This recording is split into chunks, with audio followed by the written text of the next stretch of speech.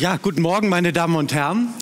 Ähm, wir haben jetzt äh, viele Vorträge gehört, ähm, von Herrn Ahlers eben zuletzt, ähm, mit einem positiven Ausgang. Und positiv soll es eigentlich hier jetzt auch in dieser Runde weitergehen, denn die Frage ist, woher kommt denn nun das Wachstum?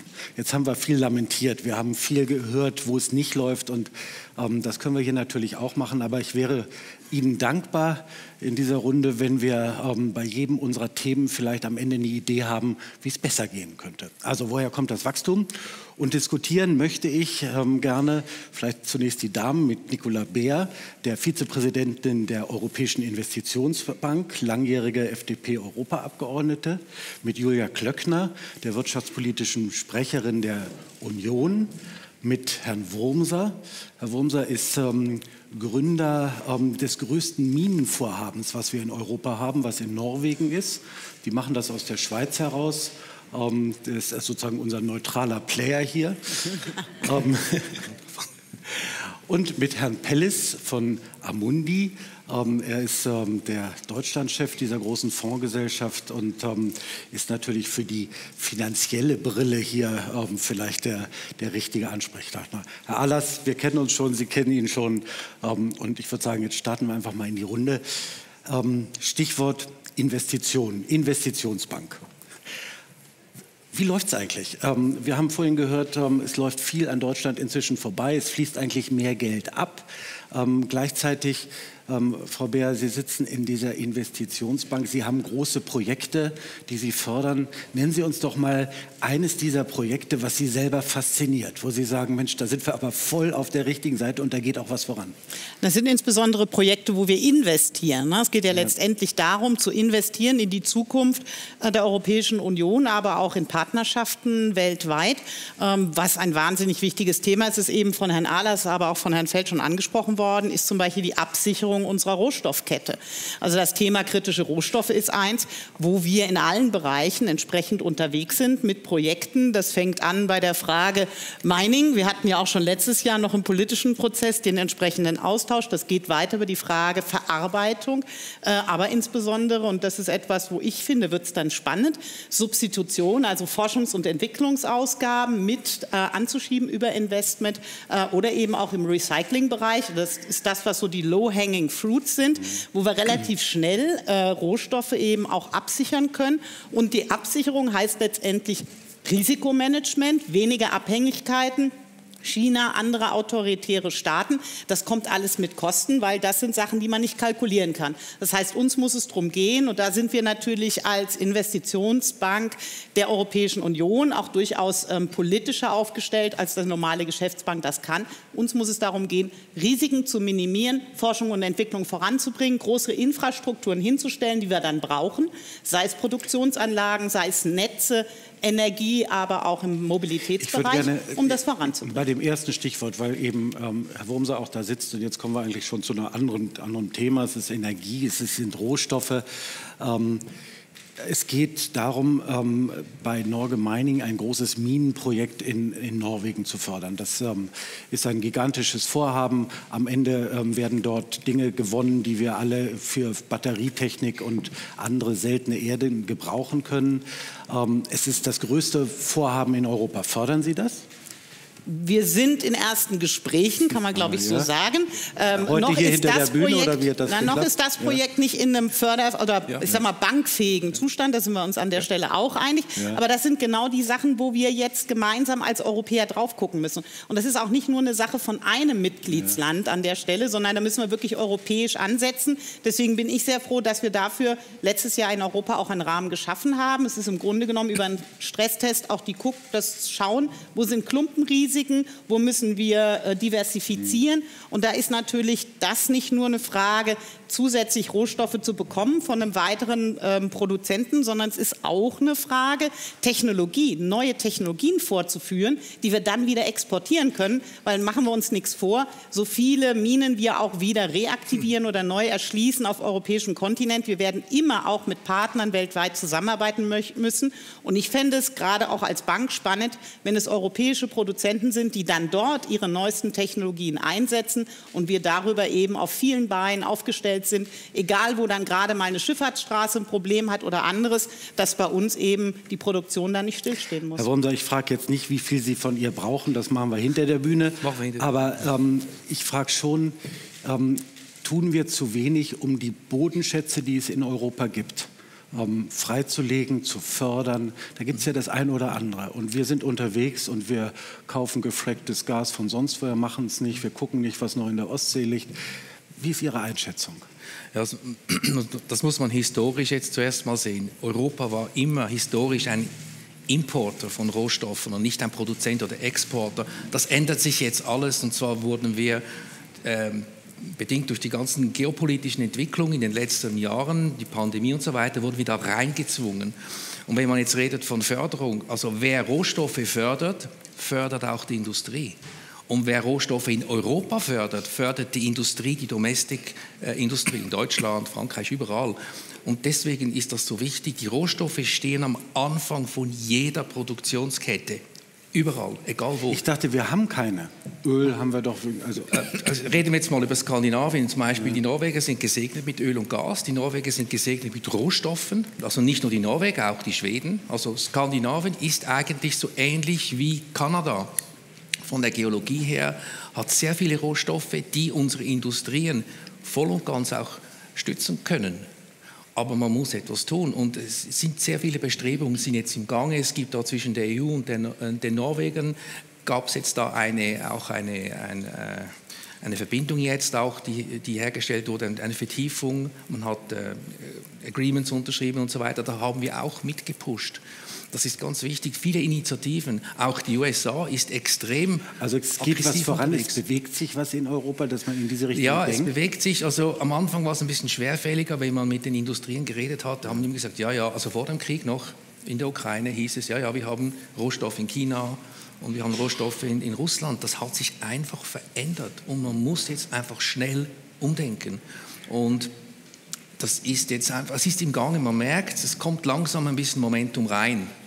Und wichtig sind die Gespräche zwischen einer EIB und den Industrien und den Rohstoffen vor allem. Also Rohstoffunternehmen.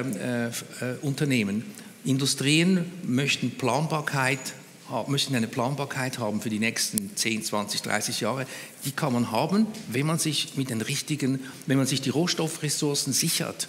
Und wenn man sie in politischen Gegenden sich sichern kann, wie in Europa, wo ich weiß, die nächsten 20, 30 Jahre kann ich Rohstoffe fördern und erhalten und ich habe den Zugang dazu, dann muss man das wirklich unterstützen und pushen. Es sind Sachen, es sind auch Gesetzesänderungen äh, unterwegs zum Beispiel, wo man sagt, man muss die Rohstoffförderung auch beschleunigt unterstützen. Also dass zum Beispiel bis zu dem Zeitpunkt, wo ein Rohstoffunternehmen fördern kann, dass man die, den, den, Bewilligungsprozess zum Beispiel, äh, die, den Zeitablauf äh, äh verkürzt also man sagt dem Fast Track Approval, das kommt, das ist alles on the way, das ist alles im, im in, in the making. Ich würde gerne mal, Frau Klöckner, Sie nicken, ja, also ähm, wenn Sie ähm, als, als wirtschaftspolitische Sprecherin der Union sowas hören, ähm, wächst dann in Ihnen der Wunsch, wenn es mal zu einem Wechsel in dieser Regierung kommt, dann geben Sie die Rohstoffe frei. Dann wird gefrackt, was das Zeug hält. Dann wird in der Ostsee gesucht, was, was zu finden ist.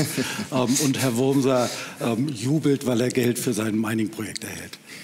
Ich freue mich ja, wenn er jubelt. Erstmal guten Morgen. Natürlich geht ein, ein Fracken, was das Zeug hält, wäre ja unsinnig und politisch unklug. Aber wenn wir jetzt einfach mal uns anschauen, wie die Lage ja ist, 98 Prozent der seltenen Erde, die die EU benötigt, importieren wir 98 Prozent aus China. Genau. Wir werden zu 98 Prozent beliefert aus China. Es geht nicht um Decoupling, sondern De-Risking. Und wenn wir uns anschauen, Gallium zum Beispiel, also wenn man sich auch mhm. mal vor Augen führt, für was wir auch ähm, diese Rohstoffe brauchen, zum Beispiel für Touchscreen, für äh, Smartphones oder für die Energiewende seltener Erden, für Batterien, für vieles andere auch, äh, dann wird einem schon klar, dass politische Ziele, die wir haben, nicht gehen ohne Rohstoffe. Und wenn wir uns schauen, wo bekommen wir die Rohstoffe her, dann aus China, sehr, sehr konzentriert, dann ist das ein Problem. Das muss man sehr deutlich sagen. Das ist keine Diversifizierung. Und wenn man Lessons learned aus Russland, einseitige Abhängigkeit, wirklich anwenden will, dann müssen wir mehreres tun. Zum einen natürlich auch schauen, was wir in Deutschland an Rohstoffen auch bergen können. Es kommt außerhalb nicht, nicht gut an wenn Deutschland gegen Kernenergie ist, aber Kernenergie importiert, wenn Deutschland gegen Fracking ist, aber das Ganze dann ähm, woanders, äh, also mit der Begründung sei umweltschädlich, das mutet man dann anderen zu. Ähm, oder das Thema Verpressen, das wollen wir bei uns nicht, aber wir machen es dann in Norwegen. Also Verpressen kurzum, ist Müll in der Erde vergraben. Nee. Oder, nein, nein, CO2. Äh, nein, nein, CO2, CO2, CO2. ist CCS okay. und, ja, und ähm, äh, Storage. Und die, die, die Frage ist ja am Ende immer, wie stellen wir uns strategisch so auf, dass wir selbst, wir werden nie unabhängig werden komplett, aber dass wir selbst das auch bergen, was wir auch haben, auch Gasvorkommen zum Beispiel. Zweiter Punkt, da werden jetzt, da hat die Bundesregierung äh, durchaus einen Punkt, sie hat es in ihrem Koalitionsvertrag stehen. Jetzt weiß man nicht, wie lange eine solche ähm, also Legislaturperiode dann hält. Und wenn sie dann bis zum Ende hält, ist es auch nicht mehr sehr lange, um das umzusetzen. Zweiter Punkt ist, wir brauchen Handelsabkommen. Man muss sich mal anschauen, ähm, wie lange das Mercosur-Abkommen, also es ist ausverhandelt, aber die Importe aus den Mercosur-Staaten sind von 2022 auf 2023 um 20 Prozent gesunken und unsere Exporte 10 Prozent dorthin gesunken. Und das sind aber auch, muss man sagen, Länder, die unsere Werte teilen. Und ich halte das für absolut unklug, immer dann politisch noch eins draufzusatteln, dass sie dann alle unsere äh, gendergerechten Forderungen dann auch noch umsetzen sollen in deren Ländern. Also ich fasse mal zusammen. Sie diversifizieren würden, ja. hier im eigenen Land, aber Partner suchen, nicht nur auf China setzen. Also eine unionsgeführte Regierung würde bei Rohstoffen stärker suchen und sie würde mehr Handelsabkommen versuchen abzuschließen. Ja? Ja, das Gut, ist jetzt, ist mein mal, das ist jetzt, ja? sagen wir, nicht sehr komplex, ja, äh, würde ich jetzt sagen, ganz, als, als Fazit. Aber äh, das, Ganz einfaches Fazit. Genau, aber am Ende müssen wir uns klar sein, auch wenn der Kanzler nach China reist, wir können nicht ohne China, aber wir brauchen andere Partner. Schauen wir nach Australien, was es an Lithium dort gibt, dass wir da nicht aktiv sind. Das halte ich wirklich für einen Fehler. Herr Pelles, wo kommt denn das Geld dafür her? So ein Minenprojekt ist unglaublich teuer. Ähm, gibt es genügend ähm, Kapitalsammelstellen in Europa? Gibt es genügend Investoren? Gibt es genügend ähm, Gesellschaften, die in der Lage sind, privat und öffentliches Geld zusammenzuführen, um sowas zu finanzieren? Ja, es gibt einige, aber nicht genügend. Also von da in Europa.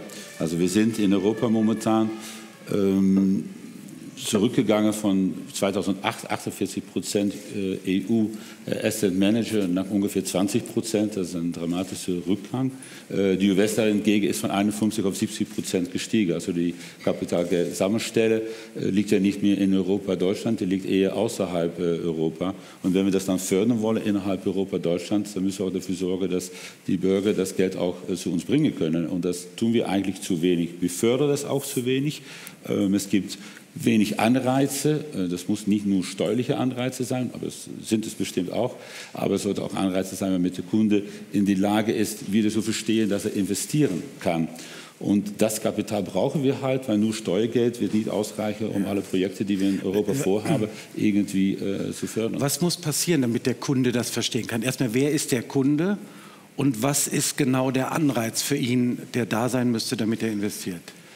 Also der Kunde ist letztendlich sind wir alle. Ja? Also grundsätzlich können wir alle investieren. Wir tun es halt zu wenig. Also es gibt eine Umfrage von OECD, wobei der erwachsene deutsche Bürger äh, 21 Prozent der Finanzfrage gut beantworten kann.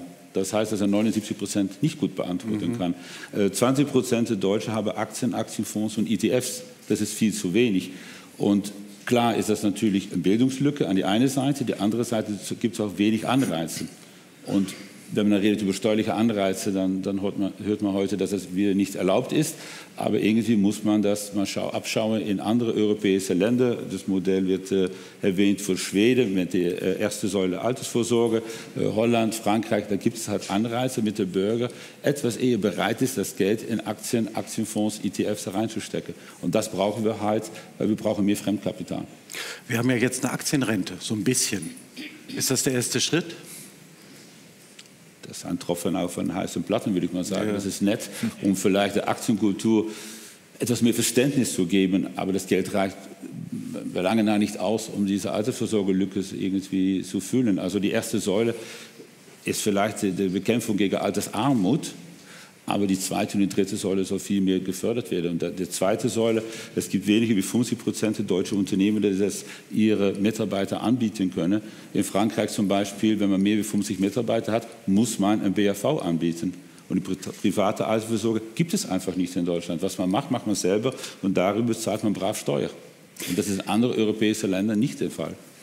Herr Allers, Sie haben eben ähm, das Thema Förderung auch in Ihrem Vortrag angesprochen. Sie haben die große, diesen äh, Reduct, äh, Inflation Reduction Act in den USA angesprochen, ein gigantisches Programm. Ähm, kann da Europa eigentlich überhaupt mithalten? Und wenn Europa da mithalten kann, ist es nicht eigentlich am Ende ein völlig ruinöser Subventionswettlauf, den wir da angefangen haben? Ja, das ist natürlich auch eine Frage der Perspektive. Ich habe es ja schon im Vortrag angesprochen. Erstmal vom Volumen her unterscheidet sich Green Deal und Inflation Reduction Act gar nicht so sehr. Also das sind, die sind auf Augenhöhe. Es geht nicht um mehr Geld, es geht um die Art, wie man es verteilt. Jetzt kann man immer sagen, ist das nicht irgendwo so ein Subventionswettlauf? Und wenn es ein bestehendes Geschäft wäre, was sich nicht verändert, würde ich dem auch uneingeschränkt zustimmen. Nur wir müssen hier sehen, wir müssen uns transformieren. Weiter so ist doch keine Option. Wir können doch nicht weiter so auf der Erde wirtschaften wirtschaften, wie wir das in den letzten Jahren gemacht haben. Und es kommt andere hinzu. Und Frau Klöckner hat es angesprochen. Wir müssen da Vorbild sein, weil ja, wie will man jemanden davon abhalten, zu Wohlstand zu kommen? Wir werden keinem das verbieten können. Und wenn die einfach den Weg nachziehen, wird der CO2-Ausstoß zu hoch sein und so weiter. Wir müssen andere Wege finden. Und das heißt, wir müssen in die Transformation investieren. Und da heißt es, wir müssen jetzt loslegen. Wir haben nicht mehr so viel Zeit äh, zu ver äh, verschenken. Ich glaube zum Beispiel, das Zertifikate-Handelssystem ist an sich sich das überlegene System, um das zu machen. Nur leider, bis das richtig in allen Wirkungen greift und spürbar erlebbar wird, dauert es noch ein bisschen. Inflation Reduction Act, heute investieren, heute die Steuergutschrift, das ist halt als Kickstarter für die Transformation äh, wirksam. Es muss dann auch, ich meine, die, die ganzen Investitionen, die jetzt gemacht werden, müssen ja dann auch mal geguckt, was ist in zehn Jahren mit denen? Wie rechnen die sich, wenn es nicht so kommt? Aber es lässt sich per heute, um loszulegen, als Vorstand, als finanzierende Bank und als äh, besser rechnen in den USA, ich habe einen Bescheid, das kann ich steuerlich absetzen, so funktioniert das, als wenn ich mit einem Projekt komme, wo ich sage, da gibt es wohl Fördertöpfe, die Förderrichtlinien stehen noch nicht ganz fest. Und dann weiß ich nicht und vielleicht kriege ich einen Zuschuss auf das verkaufte Produkt. Und wenn der Markt sich so und so entwickelt, könnte das reichen, dass ich hier mit Gewinnen arbeite. Das funktioniert halt nicht. Und deshalb glaube ich, ist dieser Anstoß richtig. Staat darf intervenieren in Wirtschaft, um Entwicklungen anzustoßen so wie es ausgestaltet ist, das ist wichtig. Und vielleicht letzter Punkt. Wir hatten doch schon mal eine ähnliche Situation. Das ist immer ein Punkt, den ich mit meinen Kindern diskutiert habe. Die haben immer gesagt, ihr habt nie was für Umweltschutz gemacht. Und dann sage ich, nur, das ist aber ein harter Vorwurf, war aber anders. In den ich glaube, es waren die, die 90er Jahre, als wir plötzlich abends in der Tagesschau den braunen Schwarzwald gesehen haben. Das ging uns doch ans Herz. Da sind wir doch losgelaufen und haben Katalysatoren. Aber jetzt ist der auch wieder grün. Ja, aber was haben wir gemacht? Katalysatoren für die Autos und Entschwefelung der chemischen Industrie.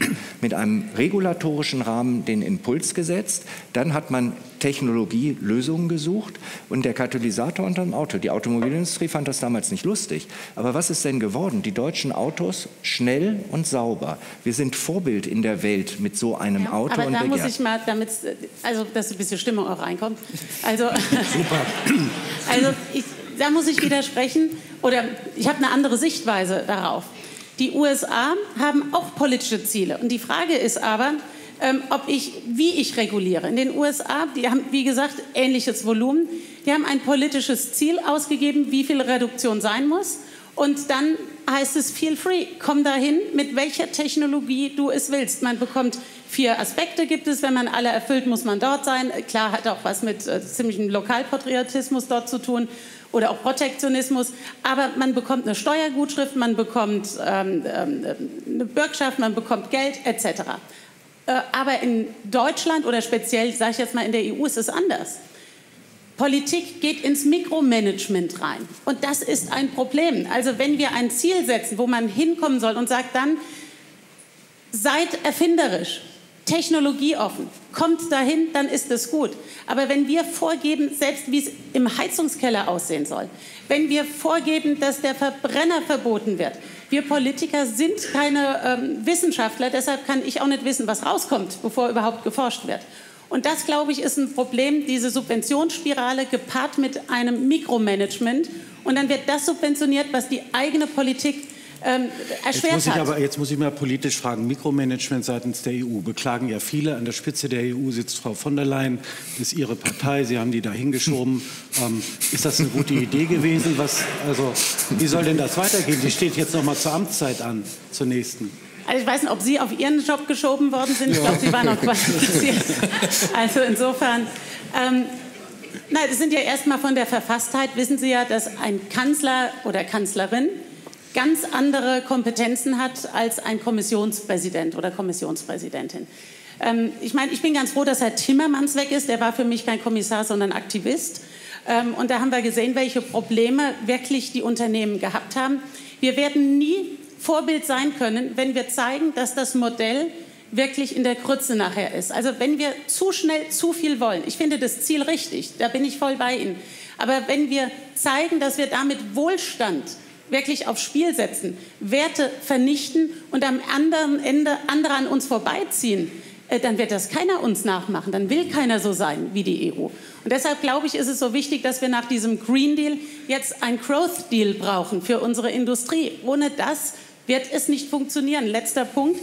Wenn hier nicht produziert wird, dann heißt es ja nicht, dass nicht produziert wird. Dann wird woanders produziert, aber unter schlechteren Umweltbedingungen. Und holistisch gedacht, also auch für den gesamten CO2-Fußabdruck, fühlen wir uns vielleicht für einen kurzen Moment gut, aber unserem Weltklima hat es nichts gebracht. Und deshalb sage ich, hier muss es geschehen. Hier müssen wir die Wirtschaft stark machen mit Zielen, aber dann bitte auch technologieoffen und rein in das Thema Forschung und Entwicklung. Wir diskutieren hier alle eine Form eine Form der Industriepolitik, wo man Champions ähm, fördert, wo man versucht, auch nationale äh, Unternehmen ähm, weiter zu fördern und an der Weltspitze zu halten oder solche hierher zu bekommen. Eigentlich bei mir Ludwig Erhard Gipfel. Eigentlich kommen wir aus einer völlig anderen Welt, aus der Ordnungspolitik. Frau Beer, was ist denn, Sie sind FDP-Vertreterin, was ist denn mit der guten alten Ordnungspolitik, wo wir darauf vertraut haben, dass sich ähm, die, die Guten durchsetzen werden und wo wir den Rahmen geschaffen haben? Wir machen jetzt hier Industriepolitik und reden über Subventionen und Förderung. Ist das nicht schrecklich? Da würde ich Ihnen so nicht zustimmen. Also das ist genau das, was ich vorhin versucht habe anzusprechen. Ähm, wir sind eine Investitionsbank und nicht eine Förderbank. Das heißt, wir investieren in Projekte, die äh, auf der einen Seite sich am Ende des Tages rechnen müssen. Ähm, wir sind aber bereit, und deswegen der Finanzierungsarm der Europäischen Union, ähm, ein gewisses Risiko zu gehen, auch mit unseren Projektpartnern. Ähm, gerade, also wenn wir vorhin über Rohstoffe gesprochen haben, ja, das ist geopolitisch notwendig, das ist wirtschaftlich sinnvoll, das ist auch unternehmerisch sinnvoll, aber manche dieser Projekte kann ich heute noch nicht eine 150-prozentige Garantie darauf geben, äh, dass das am Ende des Tages jedes dieser Projekte wunderbar sein wird. Es muss im Gesamtmix nachher stimmen, aber wenn wir es heute nicht angehen, also wenn wir heute zum Beispiel nicht in äh, Forschung und Entwicklung investieren, die Produkte, von denen wir hochgradig abhängig sind, ersetzen können. Ja, also zum Beispiel in Batterien äh, statt Graphit zu verbauen, aus Silizium oder auf Holzbasis Kathoden bauen können, dann sind, wir nie, dann sind wir überhaupt nicht mehr abhängig an der Stelle. Das können wir hier selber. Wenn wir heute nicht den Mut haben, auch in Europa wieder Minen zu eröffnen oder neue zu schaffen, und auch Deutschland hat solche Vorkommen, also es ist ein riesiges Lithiumvorhaben im Rheingraben, da muss man dann eben den Mut haben, mit Bevölkerung zu sagen, dass wir das auf eine Art und Weise hinkriegen, die umweltlich verträglich ist, die sozial sogar zusätzliche Arbeitsplätze schafft und die uns unternehmerisch, industriemäßig absichert. So, und da, das sind Sachen, wo ich glaube, dass wir uns jetzt ehrlich machen müssen. Wir waren sehr, sehr bequem in der Vergangenheit. Wir haben alles das, was stinkt, was Krach macht, haben wir gesagt, das können wir importieren. Jetzt müssen wir eben zeigen, dass wir es A selber können, dass wir aber auch mit Technologie drin sind, die eben anders dasteht als vor 30 Jahren. Das heißt, wir bringen wirtschaftliche Aspekte und umweltpolitische Aspekte wirklich in eine Balance. Und da bin ich sehr bei Herrn Ahlers. Ich glaube, das sieht Frau Glöckner aber ähnlich, dass wir das dann auf marktwirtschaftlicher Ebene machen, weil wir können es zum Beispiel mit Zertifikaten, können wir es bemessen. Wenn ich CO2-Ausstoß dann eben in Zertifikate umbaue, dann kann ich das mit einem marktwirtschaftlichen Instrument machen. Wenn ich ähm, die, die Australier Dauert aber einfach weiter. total lange, hat Bio, ja alles na, gerade gesagt. Ja. Aber schauen Sie, die Sache ist doch die, das ist, glaube ich, etwas, wo wir insgesamt als Europäer besser aufgestellt sein müssen. Und das ergibt sich ja jetzt gerade die Tage auch wieder aus dem Letterbericht. Nicht kurzfristig, Tag zu Tag getrieben reagieren, sondern eine langfristige Perspektive haben.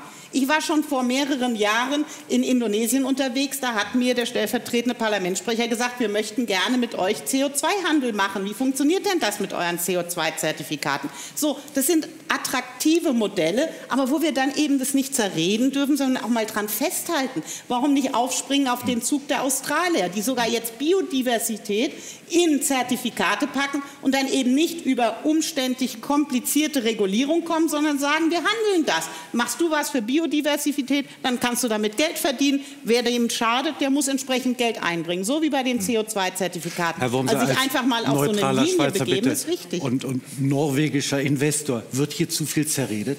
Entschuldigung? Wird zu viel zerredet, wie Frau Berg? Dauert es zu lange? Ist der Prozess in der Europäischen Gemeinschaft, ist dieser ja. Entscheidungsprozess etwas zu mühsam?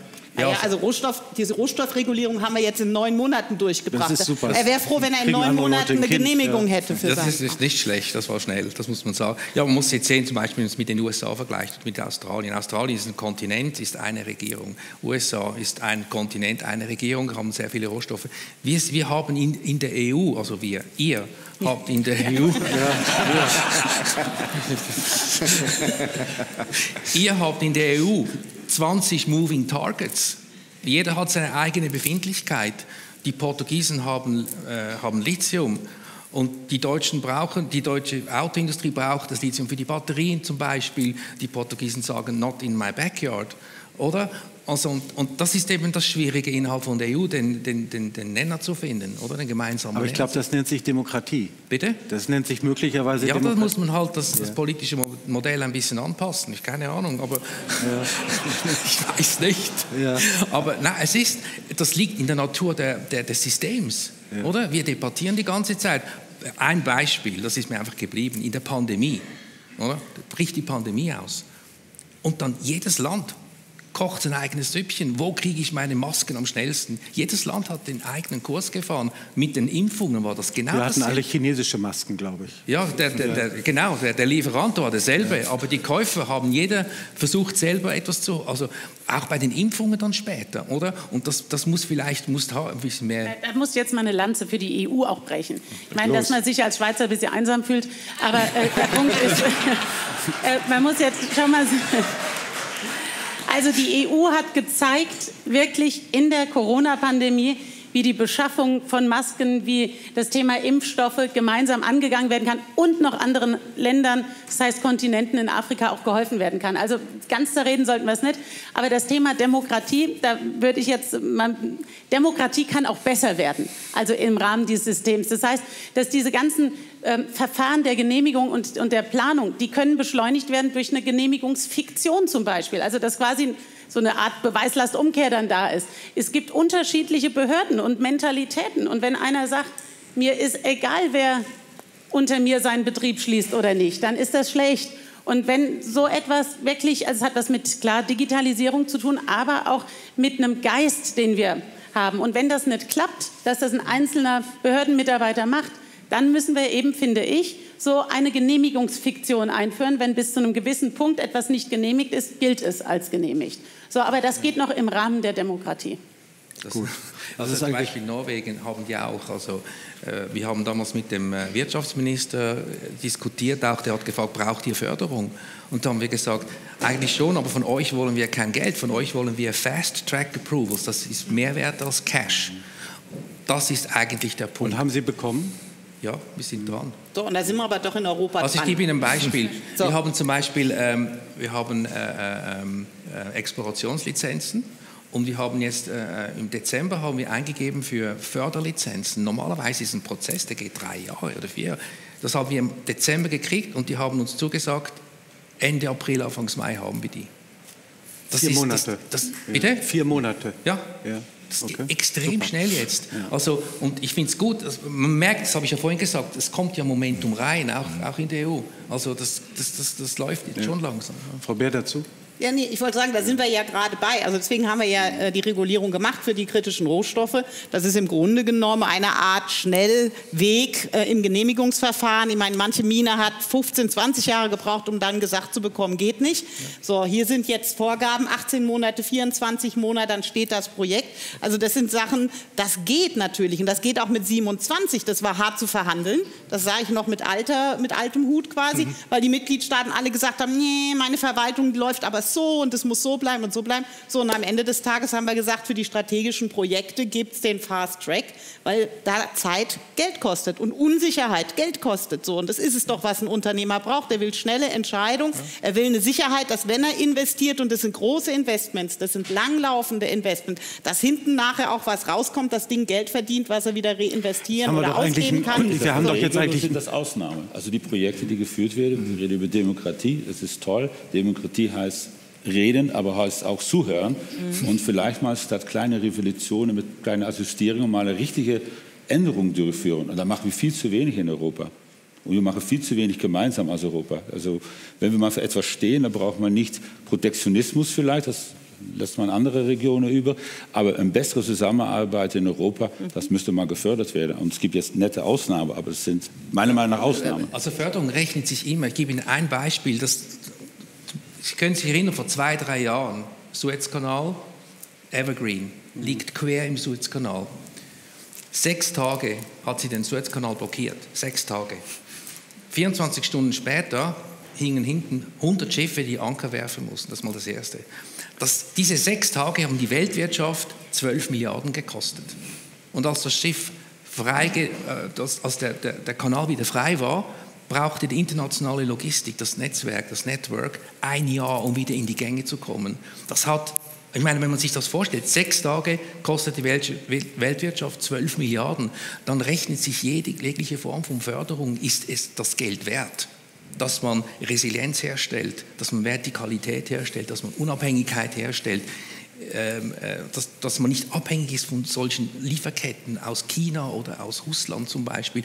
Das ist das Geld immer wert, diese Förderung. Das rechnet sich, oder? Also Resilienz herstellen. Aber ich würde gerne, Herr Pilles, bei Ihnen jetzt ähm, auch nochmal ansetzen.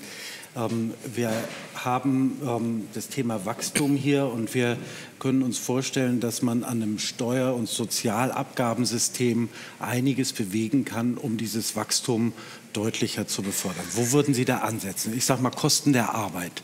Ähm, sind die in Deutschland so, dass sie überschaubar sind oder würden Sie aus Ihrer Expertise sagen, nee, das System kann man aber mal entscheidend verändern? Gibt es da einen Hebel?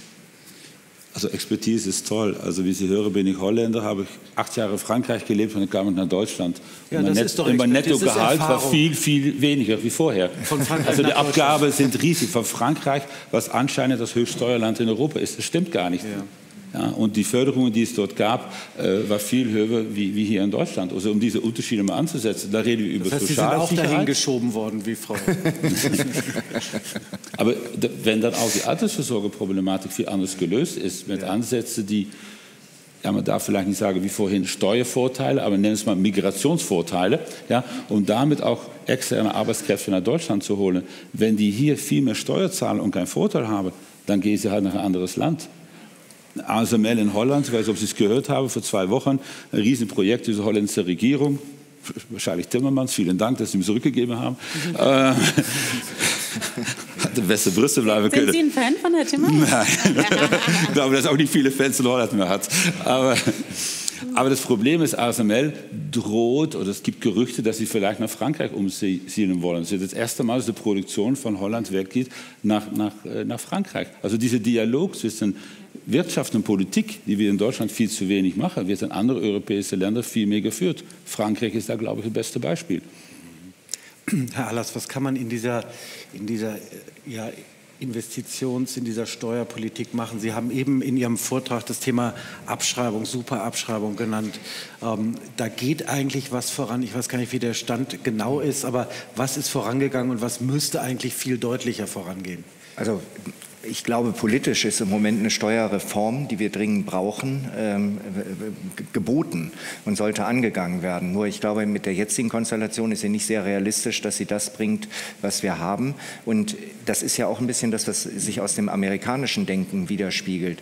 Dadurch, dass ich heute investiere, gehe ich davon aus, dass es der Wirtschaft zukünftig gut geht und ich dann die Steuereinnahmen habe, um meine Finanzierung äh, zurückzubekommen. Dieser Mut fehlt uns ja ein bisschen. Wir sagen immer erst mal und dann gucken wir ein bisschen und haben jetzt ganz lange keine Steuerreform gemacht. Und das äh, muss man einfach sagen, wir sind nicht allein, wir sind keine Insel. Drumherum haben alle was gemacht. Wir sind wieder ans Ende der Steuerskala gerutscht. Also ich bin schon, ich habe es äh, gesagt, weil ich im Moment es politisch nicht für realistisch halte, aber eine Steuerreform wäre geboten mit einer deutlichen Reduzierung. Das ist das Erste. Wenn man das politisch nicht durchsetzt. Für Private dann, und für Unternehmen. Ja, an meiner Seite, wir, es, wir, wir müssen ja mobilisieren und Sie haben das als einen Aspekt angesprochen. Wir sind auch in der Bildung zurückgefallen. Junge Leute denken, die sich dem globalen Wettbewerb stellen wollen. Die denken heute global. Die gehen in die USA. Die wollen, äh, ich glaube, Mediziner ist im Moment die Schweiz unheimlich attraktiv als, als Arbeitsmarkt. Ja. Und, so. und die gehen auch nicht nur wegen des Geldes. Das ist auch, dann kommt man immer in so eine, so eine einseitige Diskussion, sondern weil die Bedingungen besser sind, weil die Perspektiven besser sind. Und wenn wir da erstmal Braindrain haben, haben wir das nächste Problem. Also auch privat entlasten, insgesamt die Wirtschaft entlasten. Das ist schon wichtig, um Kräfte freizusetzen, um zum Beispiel Forschung und Entwicklung zu machen. Da sind wir das ist dringend äh, geboten. Also mein Eindruck ist, dass wir hier bei Forschung und Entwicklung gar nicht so schlecht sind, in den Hochschulen, in den Universitäten sogar toll sind. Ähm, dass aber in dem Augenblick, wo es richtig viel Geld kostet und möglicherweise viel Geld bringt, BioNTech äh, nach London, andere jetzt hier gerade nach, nach, ähm, nach Schweden verkauft, nach Norwegen verkauft, ähm, dass dann das Ausland attraktiver wird. Was können wir denn gegen diesen Bruch machen? Also ich glaube, da müssen wir auch vorsichtig sein. Wir haben auch jahrelang hat die deutsche Wirtschaft äh, ihr Geschäftsmodell gestärkt, indem sie im Ausland Investitionen gemacht haben. Wir sind ja, wir, das ist ja eine komische Gemengelage, dass wir stolz sind, wenn unsere Unternehmen skalieren und im Ausland äh, zukaufen und kaum kommt einer zu uns, sind wir irritiert und sagen, oh, wollen wir das überhaupt, dass das nicht mehr in deutscher Hand ist. Also da, das ist wichtig für die politische Debatte, dass wir beides machen. Ich meine, eine mit der größten Investments, die im Moment in Deutschland stattfinden, finden durch Microsoft, Google und Apple statt und Intel, das wir dann wieder leider fördern müssen, damit es Attraktivität äh, hat, weil wir keine Rahmenbedingungen haben, die per se attraktiv sind. Und ich glaube, da müssen wir gucken, wie wir die Staatsmittel einsetzen. Aber ich bin unbedingt dafür, dass der Staat sich im ersten Schritt reduziert und den Märkten mehr Kraft gibt nach vorne. Und da gibt es viele Beispiele, auch empirisch aus den USA, aus England, aus anderen Maßnahmen, wo über die Steuersenkung, dadurch, dass die, die, das Substrat sich verbreitert, in Summe mehr Steuern reinkommen auf einer niedrigeren Bemessungsgrundlage. Jetzt muss man sich aber anschauen, äh, bei Intel 10 Milliarden Euro dafür, dass ein Unternehmen sich hier ansiedelt und noch nicht mal jetzt äh, die große Entwicklungsabteilung hier aufbaut. Ähm, das die bauen ist, Brot- und Butterchips hier. Also ja. muss ich sagen, so ganz, also ich persönlich oder wir als Union sind da nicht so sehr begeistert, dass natürlich Ministerpräsidenten, die dort sind, klar, nimmt man alles, äh, wenn es auch Bundesgeld gibt. Aber da bin ich ein bisschen skeptischer, was das angeht. Wir haben einen äh, Kapitalabfluss im, vergangenen, im vorvergangenen Jahr gehabt, der war noch nie so hoch. Um die 130 Milliarden Euro, vergangenes Jahr um die 90 Milliarden Euro. Wenn man sieht, es wird investiert, aber nicht in Deutschland. Und jetzt ist ja die Frage, wie kriegen wir das Ganze wieder hier bei uns auf unserem Boden eben auch hin mit festen Arbeitsplätzen und vielem. Und da ist es schon in der Tat wichtig, dass sagen wir, die Steuerquote also im Mittel liegen wir ja schon mal ganz schön, aber wir haben 29 Prozent etwa. Äh, OECD-Mittel ist 23 Prozent und EU-Mittel ist 21 Prozent. Jeder, der rechnen kann, sagt sich doch, ich gehe dahin, wo ich vor dem Aufschließen meiner Firmentür nicht schon viel mehr abzugeben habe. Das ist der eine Punkt. Der zweite Punkt, es muss so ein Gesamtkomplex, denke ich, sein. Wir brauchen in Deutschland eine Flexibilität in der Arbeitszeitregulierung. Also die EU erlaubt eine Wochenhöchstarbeitszeit, wir haben Tageshöchstarbeitszeit. Ähm, auch die Frage, was bleibt mir, wenn ich mehr arbeite? Also lohnt es sich wirklich, wenn ohne Fleiß wird es halt nicht gehen. Und lohnt es sich wirklich, wenn ich mehr arbeite, Überstunden mache? Was bleibt mir dann von dem Euro? Nur 40 Cent? Dann kann ich auch vielleicht daheim bleiben. Also da steuerliche Anreize auch geben. Das Bürgergeld halte ich zum Beispiel auch für wirklich eine, eine Fehl ein Fehlanreiz. Wir haben steigende offene Stellen und steigende Arbeitslosigkeit. Dann ist das Arbeitsmarktinstrument nicht das passende.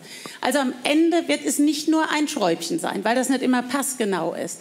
Wir haben auch gute, damit wir nicht in Depressionen verfallen, wir haben ja auch gute Sachen in Deutschland.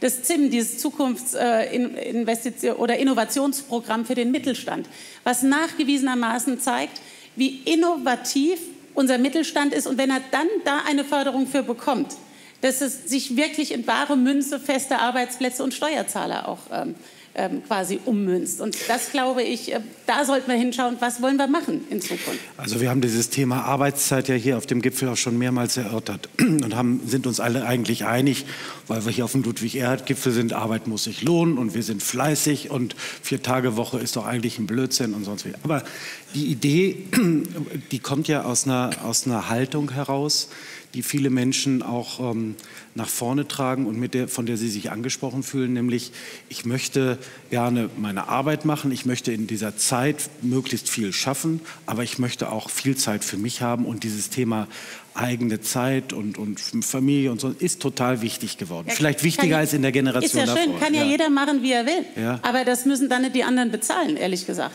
Also das muss ich ja irgendwie auch rechnen. Und, und wenn er genau so ein Modell machen will, dann muss man sich selbstständig machen, wenn es dann funktioniert. Wird es ja? gar nicht klappen, ne? Ja, aber ja. ich, ich glaube, wir müssen da auch uns mal ein Stück weit ehrlich machen, bei, bei allem Verständnis. Ich habe ja selber auch Leute, die ich einstelle und äh, spannend, also sehr unterhaltsam sind, sind Bewerbungsgespräche, wenn sie die führen. Das ist, also es gibt Sachen, von denen wusste ich gar nichts. Ja. ja. Aber, es ist, aber es ist wirklich schon so, dass, dass wir heute auch nicht nur, aber zum Teil mit einer Generation natürlich auch zu tun haben, die gehören auch zu einer Erbengeneration. Ich meine, wenn man sagt, ich, ich arbeite voll, damit ich auch was rauskriege, damit ich mir mal eine Wohnung oder ein Haus leisten kann, äh, da, damit ziehen sie viele gar nicht mehr äh, auch ran. Und dieses Work-Life-Balance ist verständlich, aber am Ende, glaube ich, muss man auch deutlich machen, man kann Arbeitszeit reduzieren, aber dann müssen wir auch Standards reduzieren. Sonst wird das nicht funktionieren, weder in den Sozial- äh, Systemen, Stichwort äh, Krankenkasse, wenn ich nur einen Teil arbeite, aber voll versichert bin, dann rechnet sich das irgendwann nicht mehr. Und darüber muss Politik reden. Wir dürfen dann nicht etwas versprechen, was nur Wellness vermittelt und am Ende nicht einzuhalten ist. Ich möchte mal noch ein Thema streifen, ähm, für das wir ja eigentlich alle gar nichts können, was uns aber total berührt, nämlich die Geopolitik. Wir haben ja darüber gesprochen, was ähm, in Deutschland machbar wäre, was in der EU machbar wäre. Das können wir ja vielleicht beeinflussen, aber ähm, was zum Beispiel an der Grenze zwischen der Ukraine und Russland passiert, können wir nicht so sehr beeinflussen. Jetzt gibt es natürlich die Diskussion, ähm, Frau Strack-Zimmermann ist eine Vertreterin, die gestern da war, die sagt, ähm, mehr Waffen, damit das hier auch mal vorangeht. Ähm, es gibt Teile in der SPD, die sagen, einfrieren, ähm, damit wir da ein bisschen Ruhe haben. Was ist besser für eine Wirtschaft? Ähm, sowas durchzufechten ähm, und auf, auf, einen sehr langen und sehr schmutzigen Krieg hinauszugehen oder zu sagen, jetzt auf Teufel komm raus, Frieden. Herr Wurmser, Sie sind neutral. Sie trifft es ja. jetzt. Ja. Ich weiß nicht, dieser Konflikt jetzt da, äh, dieser Krieg, der jetzt schon seit zwei Jahren am Kochen ist da, der betrifft uns ja alle und ähm, es geht, ich, ich, sehe da mehr, das ist ein Kampf um, um politische Systeme. Autokratien versus Demokratien. Und jetzt können wir uns aussuchen, wen unterstützen wir? Also das ist der Fall ganz klar. Aber ich würde gerne mal eine wirtschaftliche Einschätzung haben. Bitte? Ich würde gerne mal eine wirtschaftliche Einschätzung haben. Es ist eine moralische Einschätzung, eine politische Einschätzung. Ja. Aber was ist die Sicht eines, äh, eines Investors? Okay, wenn ich jetzt wieder auf unser Thema Rohstoffe zurückkomme, dann müssen wir Resilienz aufbauen. Mhm. Also Ihnen kommt das eigentlich entgegen, weil man sagt Resilienz, dann haben wir hier es, Rohstoff. Es kommt, nein, es ist ein Weckruf für uns in ja. den, im Westen, dass wir mehr Resilienz schaffen müssen. Russland ist ein wichtiger oder war ein wichtiger äh, Lieferant von Rohstoffen.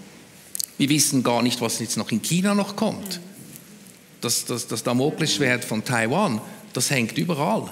Also das, das, müssen wir uns auch noch, äh, darüber müssen wir auch okay, mal Resilienz aufbauen. Aber, aber Resilienz schaffen ist wichtig und deswegen komme ich wieder auf, auf, auf, darauf zurück, was wir am Anfang darüber geredet haben. Rohstoffe sind am Anfang von allem, Rohstoffe sichern Industrien, Industrien sichern Wohlstand. Das heißt, Resilienz aufbauen innerhalb unseres Wertesystems.